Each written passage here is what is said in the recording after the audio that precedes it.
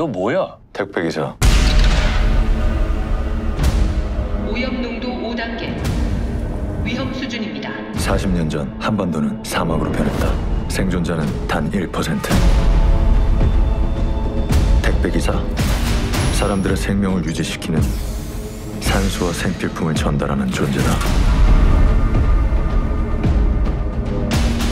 계속 이렇게 살아야 됩니까?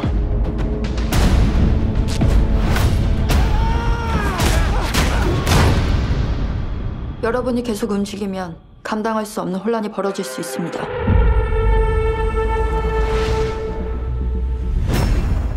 택배기사가 되시겠다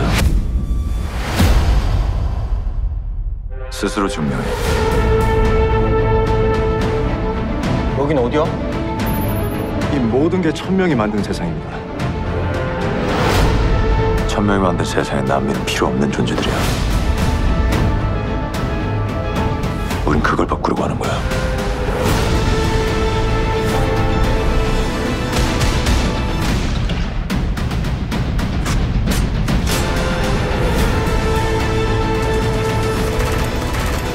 더 나은 삶을 위해선 대가를 치러야 하는 거 아닐까요?